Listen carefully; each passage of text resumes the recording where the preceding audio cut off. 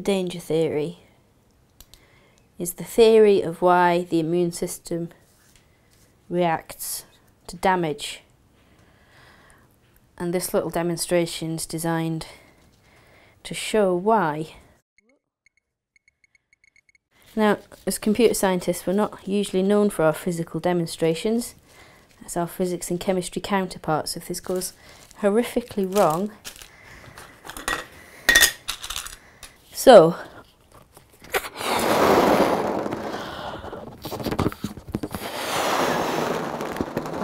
It's a crazy noise. yeah, A so microphone next to it. Ah. Crazy, crazy noise. right. So what I've got here is I've got a balloon with some bits in it, and this represents a cell that has obviously some internal constituents. So in the cell you've got things like the nucleus, which contains the rough and the smooth endoplasmic reticulum, and um, also things, little organelles called mitochondria. So your cells are filled with quite a lot of stuff, and all of the stuff is kept behind a cell membrane, and that keeps the cell intact. And there are two different ways in which a cell can die.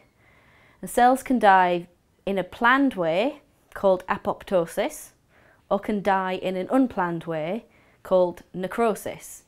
Now, the immune system is clever enough to detect whether its tissue cells are dying from necrosis or apoptosis.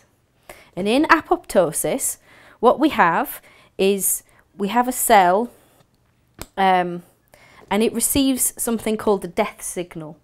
So this happens when cells um, just die because of cell turnover or during um, uh, or during development. For example, we in the womb have webbing between our fingers and apoptosis gets rid of those excess cells. So that's the process of, of in a controlled manner. So what happens is um, it's a very energe energetically um, cons consumptive process. So it consumes a lot of energy to do this. And what happens is um, is a molecule will, will bind to this cell and will tell the cell that it's time to die. And what happens is the cell degrades in a very slow, very controlled process as demonstrated by me simply letting the air out of this balloon, like so. And what's important about this process is that everything that is contained within the cell membrane is still contained within the cell membrane.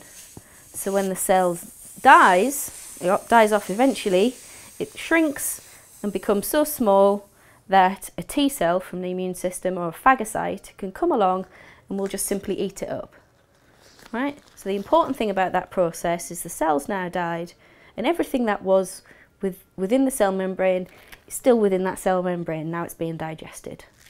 Conversely, in necrosis, necrosis is where you get an injury to the cell.